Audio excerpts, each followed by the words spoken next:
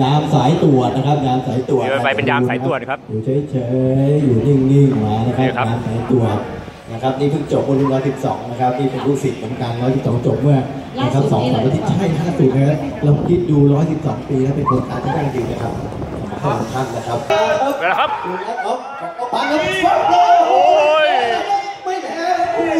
ยังแล้วเบียดตีตีตีตีโอ้โหโอ้ยตีซ้ายตีขวาครับเอาไม่อยู่ครับ เอาไม่อยู่ กัดกัดไม่ปล่อยครับเอาเอาโอ้ยครับเขาสั่งเขาสั่งนะครับคุณครับสุนัขจะสั่งไม่พ่อชิดตบมือได้ครับตบมือได้ครับมือครับครับครับครับนี่ขนาดเพิ่งจบมาเมื่อสองสามเพิ่งจบมาครับนี่รุ่นร้อยสิบสองตัวนี้เพิ่งสำเร็จวิชาจากครับนี่จบก็ค่ายทหารนะครับที่เป็นทบเป็นนักเข้าฟังต่างๆปชรสองนะครับไม่ต้องห่วงนะมีโอ้นี่ครับ เริ่มนะครับทหารได้สมัครได้ครับ เป็นทหารสุนัขเทพว่าจะหนานิ่งเลยนะฮะนี่การตรวจค้นนะครับ ครับโอ้ยจ้องจ้องเป้าหมายไม่ตรวจค้นนิ่งเลยครับสามารถจะให้สุนัขเฝ้าได้อาจารย์นะแล้วเจ้าที่ก็จะโอ้ปล่อยออกสายจูงนะครับคราวนี้จนต้องอยู่อย่างนั้นนะตรวจค้นตื่นโอ้รู้ไหมแผ่รังสีอำมหิตไปที่เป้าหมายนะฮะโดนหนีโดนนะครับ ทุกอย่างโดนอย่างเดียวนะครับครับทึบทึบทึบครับเดี๋ยวคอยดูการตัดสินในช่วงพริบตานะครับไปแล้วครับ โอ้ยโดนกัดไปแล้วครับโอ้โห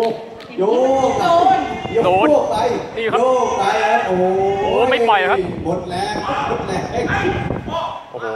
นี่ครับบตอกบมือตบมือหน่อยนี่ใช่ผมบอกแล้วว่าถ้าใครมีป้านะเรียกเข้ามาได้นะครับผมบอกเลยว่ายิ่งกว่าอะไร ถ้าใครดูข่าวที่ชลบุรีสามสี่วันที่แล้วได้ไหมถ้าดูช่องเวิร์กพอยต์ผู้หญิงเนี่ยที่หมาช่วยไว้อะสุนัขที่บ้านช่วยไว้สามตัวนะหัวข้ามมากระแทกกระแทกหัว นะตกดึกมาอีกครับสุนัขกัดครับรอดเพราะสุนัขครับกล้องช่วยไม่ได้ครับกล้องช่วยได้เราจับเอาไปดิวิ่งดิวิ่งวิ่งวิ่งวิ่ง